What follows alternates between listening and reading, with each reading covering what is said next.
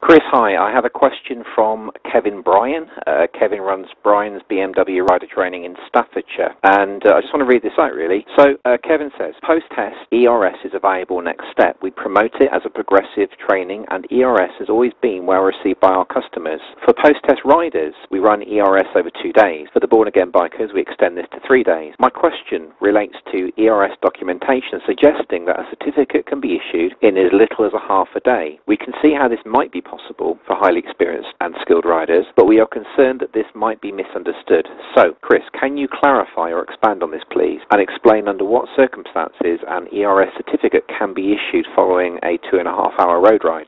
Over to you, Chris. Hi, Kev. Hope you're well. Thanks for the question. I think it's really important to clarify that you know when you're carrying out the core module that we're looking at the risk rating and the safety level of the rider.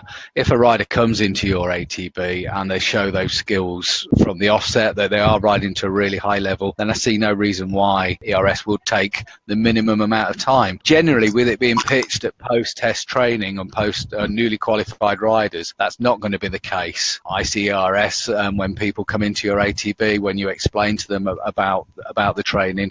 I think that's the key time to explain to them that they will get an initial assessment, and then the amount of time that the course takes will depend on their level of skill. So for some riders it may be half a day, for other riders it may be a full day, and for yet another rider it could be two or three days. Down to the individual, it's competency based, it's client led, and I feel that we don't want to set time scale on this. This is this this should be set by the ATB. This should be driven by the ATB down to what the client needs and the client requires to successfully reach the required standard.